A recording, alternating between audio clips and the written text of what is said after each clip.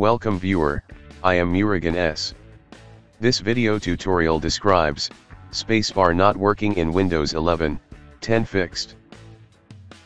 First method is click Start, Settings, click Accessibility. Click Keyboard, turn off filter keys.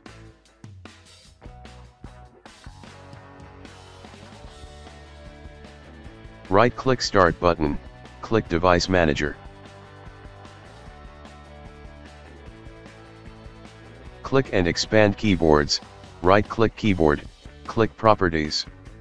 Click Driver tab, click Rollback Driver.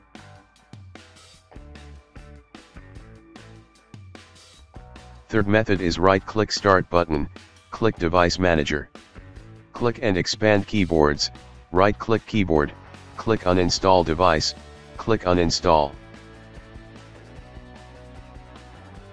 I hope this video tutorial helps to you, please like, share and don't forget to subscribe my channel, thank you very much, see you next video.